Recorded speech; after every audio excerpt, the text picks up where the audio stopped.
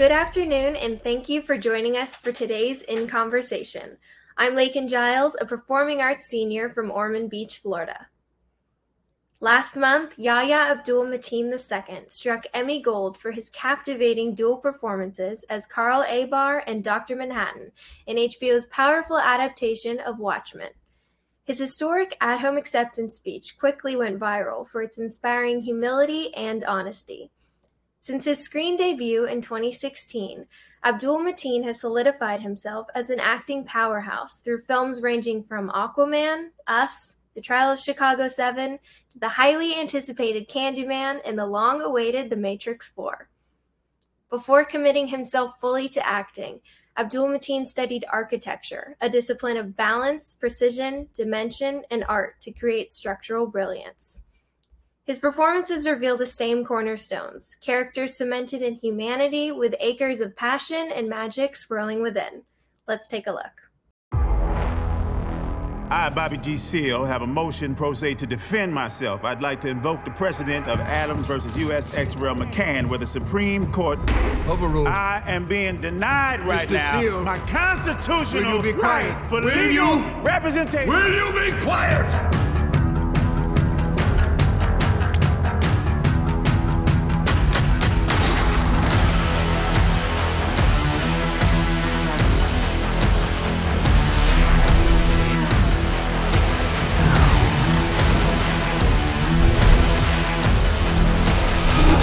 Gonna take one of these? If I knew how to use that, I wouldn't need to be making speeches. Ladies and gentlemen, Distinguished Performance Award honoree Yahya Abdul Mateen II. Congratulations. Thank you. Thank you so much. I appreciate it. Um, thank you to the Savannah College of Arts and Design. Thank you to the students. Thank you to President Paula Wallace um, for this distinguished award. It's such an honor. Um, for me, when I took this role, it was a chance to advocate for Bobby Seale. You know, Bobby Seale was a man who advocated for people like myself, uh, for uh, Black people, for people from uh, underprivileged communities, uh, people who grew up in poverty, uh, people who were against war, uh, people who were historically downtrodden by our government. Um, and he went through so much and he sacrificed a lot to put himself on the line for our cause. And it's always a great honor when I can use my own artistry to, in return, advocate for him, to advocate for his story. So um, I'm just so so grateful that I could lend my own artistry to a to a good cause. Um, and thank you, thank you so much uh, for this for this award. Appreciate you. Hi, and welcome to the SCAD Savannah Film Festival. I'm Entertainment Weekly's Chancellor Agard, and I am so, so happy to be here with Emmy Award winning actor Yahya Abdul Mateen II for uh, a lively chat about his really, really successful career over the past five years. Um, how are you doing, Yahya? I'm chilling, man. I'm doing well. Uh, it's glad to be here. Uh, I'm, I mean, pardon. It's good to be here. Uh, I'm excited, man. I'm doing good. How about yourself? I'm doing well. I'm doing well. Uh, I want to start because I think you've had such, because I think you graduated Yale, what, five years ago? And Yeah, man. That was a- uh, June June 2015. and in such a in the past five years you've you've just bursted uh, your your your career has just blown up in such an amazing way i mean how do you feel when you look back at sort of all you've managed to accomplish in a relatively short amount of time Like to be honest, I I saw the real, um, and it's shocking, man. It's it's it's, it's really shocking in this moment because I have I've been on the move and I've been able to, you know, to uh to stay around the tastemakers to really feed my appetite. You know, I'm I'm doing the thing that I left school to do, uh, and I haven't really gotten gotten a chance to catch up and and to reflect. Uh, but when I do, I'm always uh shocked and then I'm grateful. You know, I'm really really grateful for uh for uh you know the things that I've been able to experience in, in such a in such a short amount of time.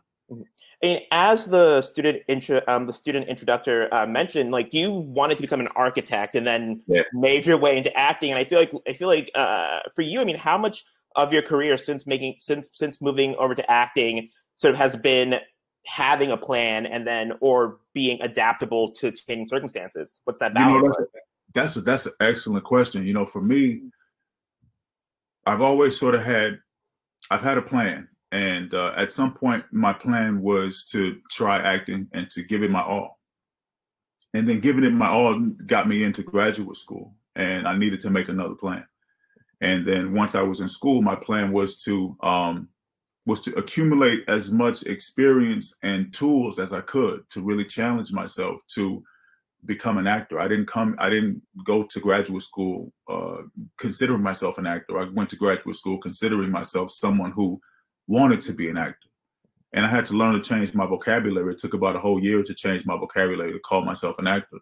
Um, and then my plan was to get better once I graduated again, I had to make another plan because my skills had gotten me into a certain place. And so then my plan was to be able to have artistic freedom, which meant that I would, um, which meant that I wanted to to uh, become financially stable through my art, and I wanted to, even more importantly, um, be able to move across projects and genres in a way that it, that uh, fulfilled whatever appetite I tended to have at the time.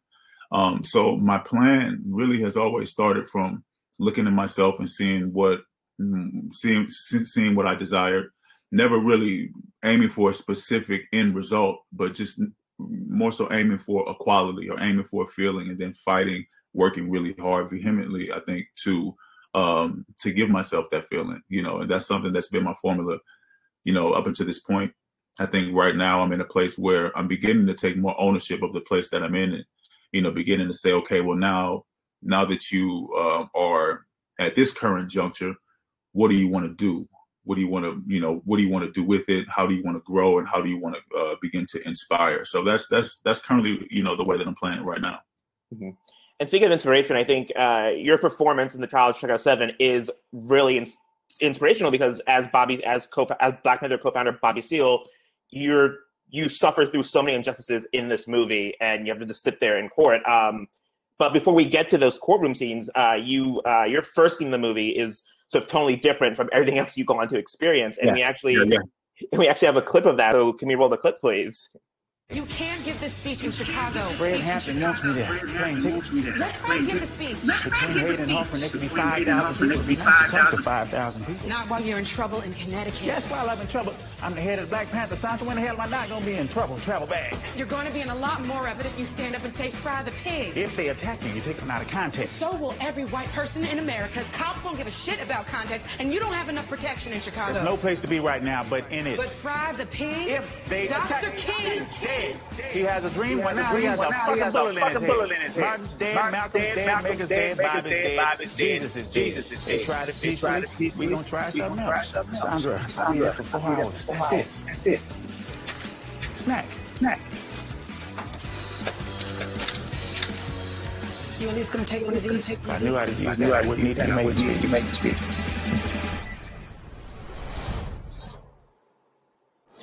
Um, as I said, that scene is just dramatically different from the rest of the movie. I'm curious how, I guess, what was it like shooting that particular sequence, and how did you sort of go in? I guess, how did you prepare for that, uh, for that sort of first scene as Bobby Seale? Yeah, that scene was what was uh, the first scene that I read. I think that that was the fir- first scene that I read in the script. It's, it's his first scene, but it was the last scene that I shot. Mm-hmm. Um, and that scene, to me, that was when I made the choice that I wanted to do the, the the movie because that was the Bobby Seale that was closer to the person that I had found in my research. You know, that was the Bobby Seale who was who was lively, who was uh, extremely quick, you know, quick witted, strong willed. Um, and Bobby Seale is a charismatic. He's a charismatic person, very charismatic. Lights up a room with his smile and with his stories. You know, he'll talk about um, he'll talk about uh, you know cooking and with the same you know enjoyment that someone will talk about sports you know um, and then he'll talk and then he'll he'll he'll, he'll get personal and, and, he'll tell you about you know the struggles of his trial and he'll tell you about being in prison. And so bobby was a multifaceted uh, bobby you know he's a very multifaceted character. And for me you know that was really a marriage between my own instincts and the excellent excellent writing that uh, you know that aaron put on the page for us. Mm-hmm.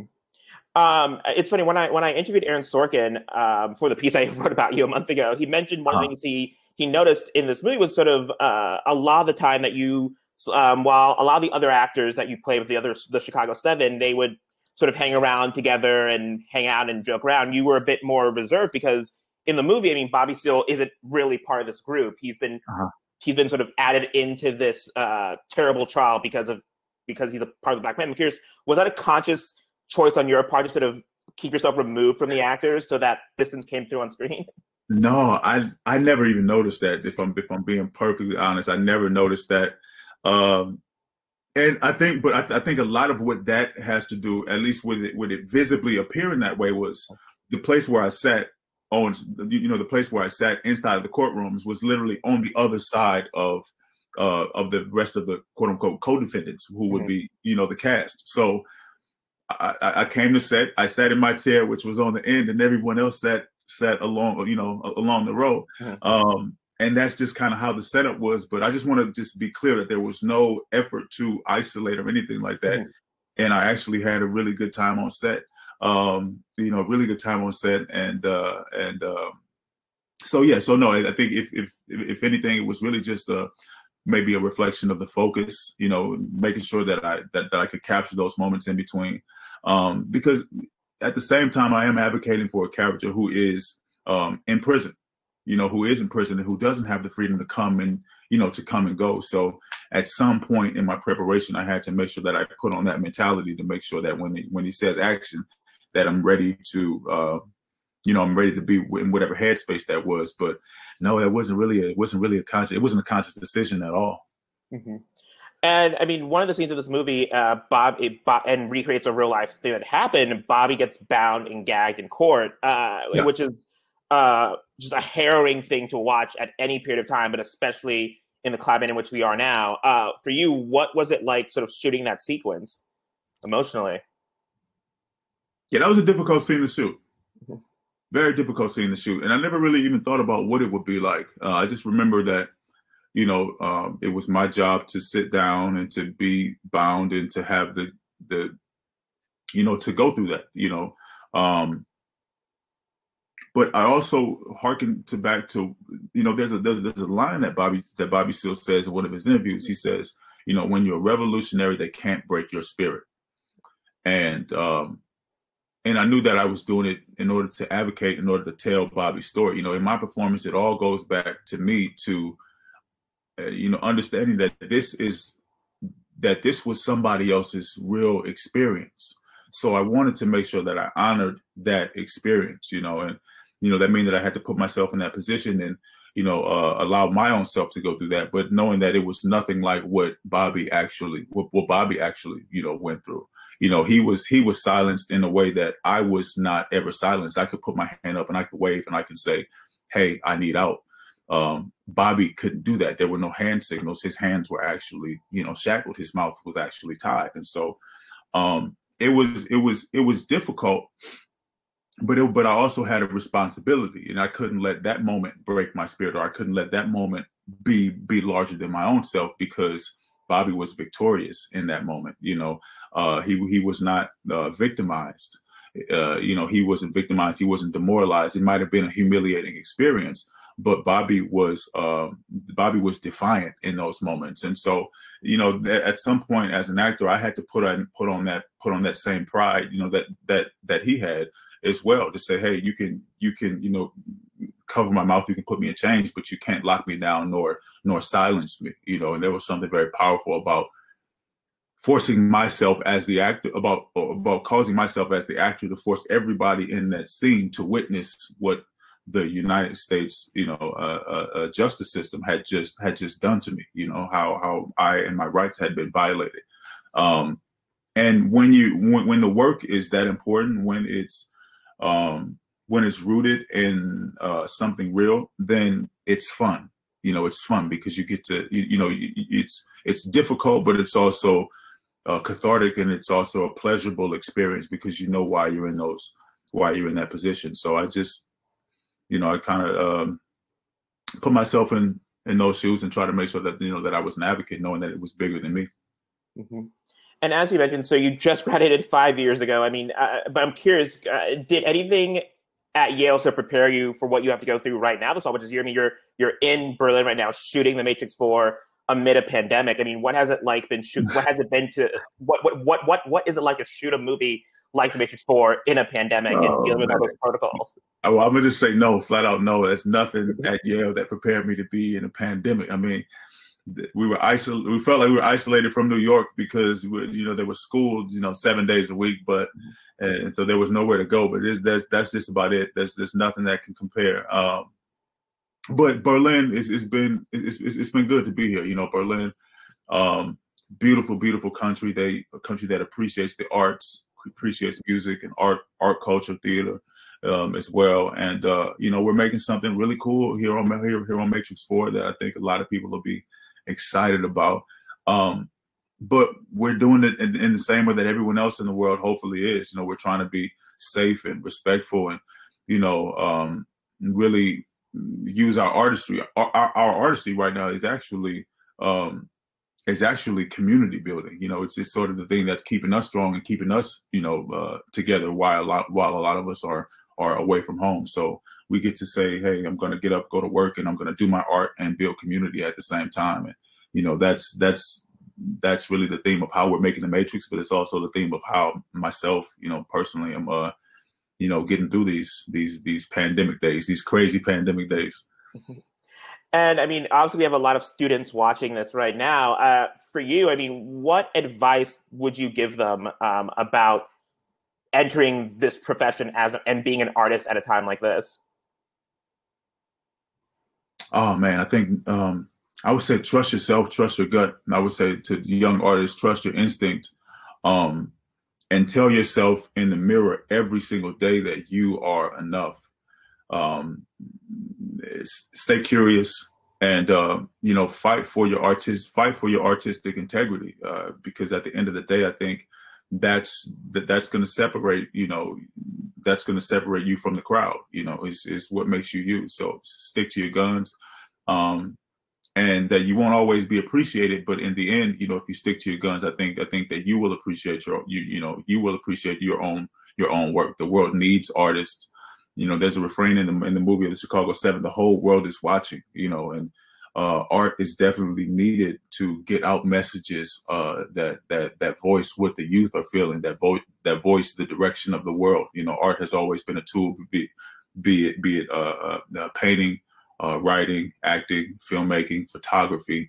You know, there um, is such a strong medium to express the um, the rage and the the the inner feelings of uh, of the world. so. Um, thank you for your art. Uh, advocate for the arts, advocate for students, um, and you know, um, keep at it. You know, that would be my advice. Awesome. Well, it looks like that's all the time we have for tonight's conversation. Yahya, thank you so so much for being here and for taking the time. Appreciate you so much. Appreciate you. And congratulations again on the Emmy and again on this on this award tonight as well. And thank, thank you everyone at home for watching and tuning in. Um, and please stick around. Please keep tuning in for more of the SCAD Savannah Film Festival. All right. It's been such a pleasure. Thank you to everyone. Um, and be well.